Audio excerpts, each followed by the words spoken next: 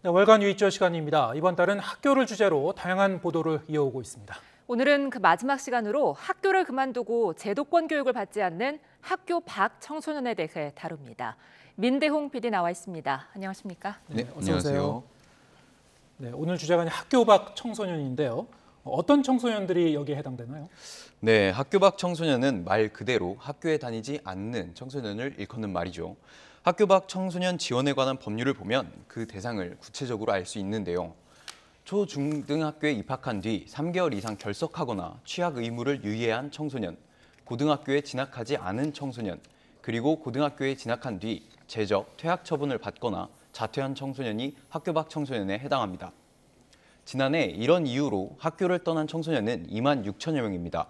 추세를 보면 지난 2013년 3만 4천여 명이었는데 조금 감소한 뒤 2만 명대를 꾸준히 유지하고 있습니다. 매년 2만여 명의 학생들이 재적, 퇴학, 자퇴 등의 이유로 학업을 중단하고 있는 겁니다. 지금까지는 매년 발생하는 건수를 말씀드린 거고요.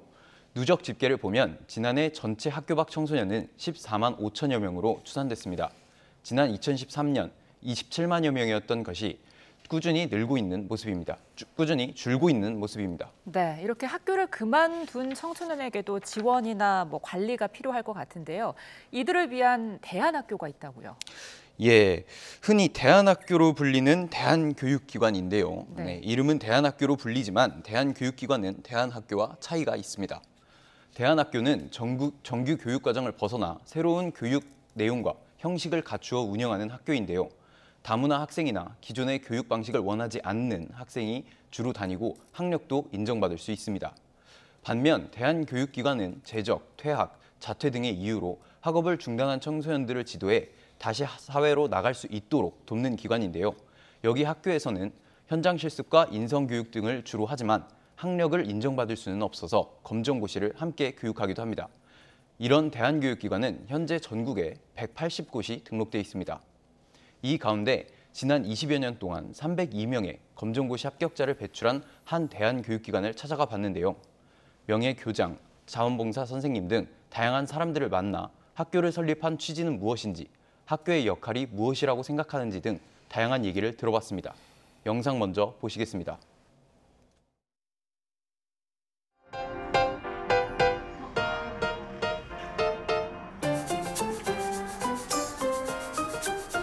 명만 오면 연다. 한 명도 안 오면 이 학교 없었던 걸로 한다. 그네 명이 온 거예요. 그래서 개- 개교를 한 거죠.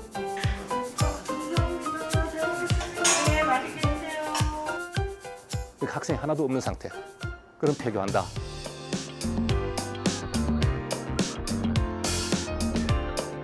아무도 우리를 필요로 하지 않는다라는 말은 우리나라 교육이 그만큼 좋아진다는 뜻이거든요. 그래서 우리는 폐교를 굉장히 행복하게 폐교하겠다.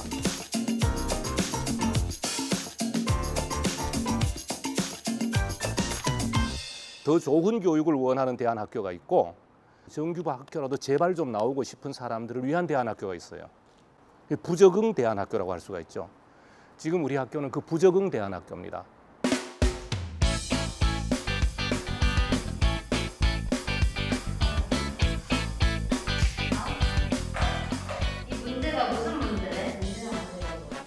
처음에 우리가 학교 왔을 때 있었어. 기억에 남는 거 있어? 고등학생 학교 다닐 때는 진짜 친구들하고 얘기하는 게 정말 어색했어요. 그 되게 너무 슬펐는데 선생님한테 관심을 가져주고 친하게 지내자고 이렇게 해주시니까 너무 이게 너무 감동받은 거예요.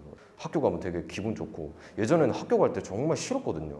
그 어차피 애들도 안 반겨줄 거고 해서 근데 여기서 점차 오면 공부는 재미없긴 하지만 그래도 쌤들을 본다는 것 자체가 너무 설레고 기대되고 학교 가는 게 정말 보람찬다고 이게 마음이 다시 바뀌었어요. 그랬구나.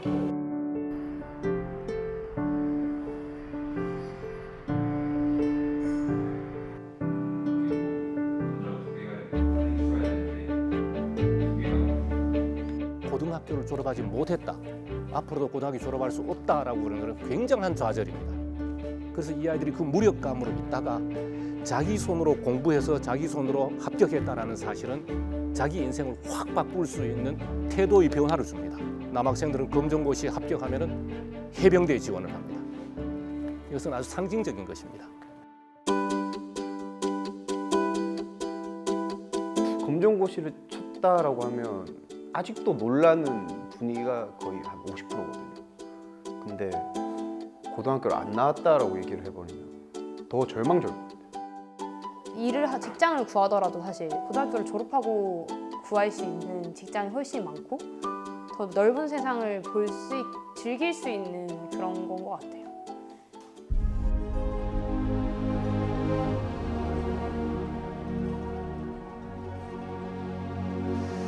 거의 다 적응을 못합니다. 일단은 이 아이들이 첫째는 공부를 하고 싶은 의욕이 없고 그 다음에 학교라는 데 대해서 가지고 있는 그 조직체에 대한 저항감이 있습니다. 공부로 애들이 적응하는 것이 아니고 사람과의 관계, 스킨십으로 적응을 해요. 그렇게 하는데 제일 빨리 접촉하기 쉬운 방법이 밥 먹는 거예요.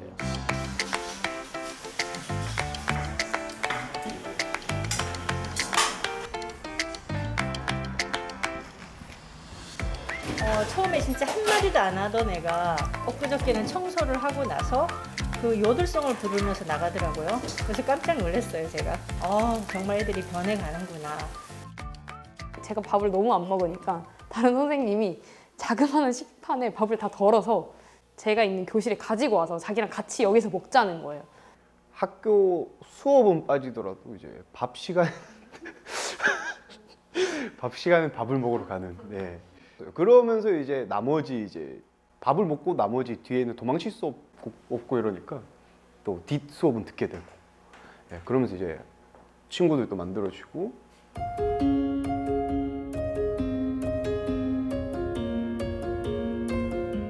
그렇습니다. 학교에서 적응하지 못하고 떠난 아이들 입장에서는 정말 목마를 만큼 가고 싶은 곳이에요. 정말 가고 싶고 정말 잘 다니고 싶고 정말 행복하고 싶은 곳이 학교예요. 그런데 가기 싫은 곳이에요. 그만큼 학교가 어려운 거야. 이 아이들에겐 적응이 안 되는 거예요. 그래서 그렇게 가고 싶어 하는 아이들의 그 학교를 회복해 줘야 돼요. 그 아이들에게 행복한 학교를 돌려줄 수만 있다면 그건 정말 우리 모두가 매달려서 해도 아깝지 않은 일입니다.